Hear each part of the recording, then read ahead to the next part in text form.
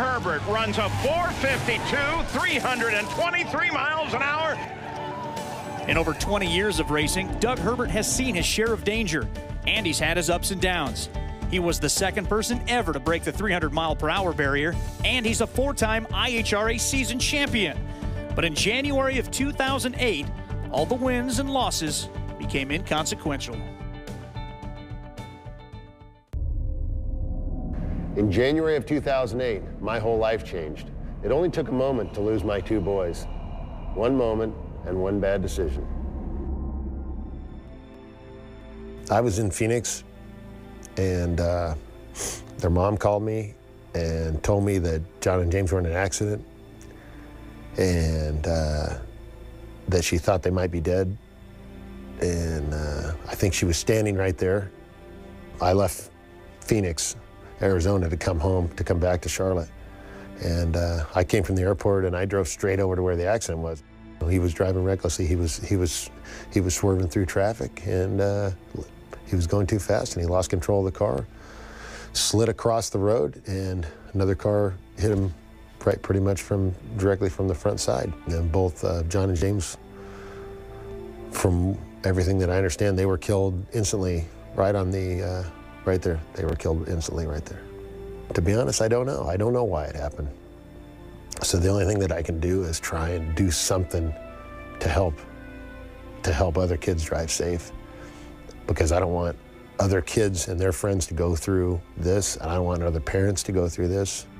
I don't think he realized um, what could have happened, or if he did realize, he just didn't take that um, into consideration. It's amazing, like, what can happen to a car. Like, you get in a car, a lot of times you feel safe, and then you see this.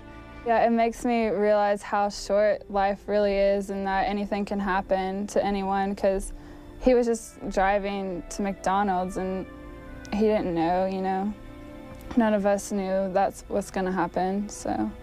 Just like imagine your best friend dying in a car wreck. and if you don't want that to happen, then don't drive like that. Because you don't want anybody else to feel, you feel like, you know, you lost somebody. Right after the accident with Jon and James, uh, I wanted to do something to try and affect other kids' lives and other parents' lives because I don't think anybody really has any idea how much it affects everybody else. And so we've started this program called BRAKES. And BRAKE stands for, and the kids all came up with this, be responsible and keep everyone safe. And that's pretty much, that's what we want to do.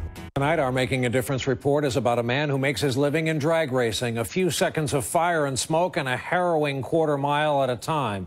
But when tragedy struck Doug Herbert's family on the road, he decided to turn that experience into something positive and developed a new passion for helping young drivers. NBC's Janet Shamlian has the story tonight from Bristol, Tennessee.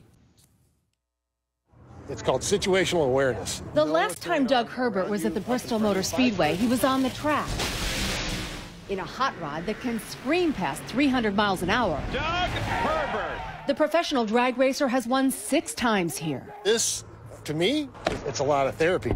But on this day, he's after a different type of win just off track. As teen drivers navigate a hazard filled course, it was heartbreak that compelled him to step out of the driver's seat and put teens like these behind the wheel.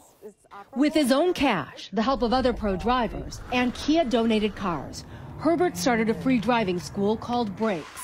Lessons on what to do in common road emergencies. I didn't want to do it. I don't need this. Now I'm really glad because I was dumbfounded with all of this.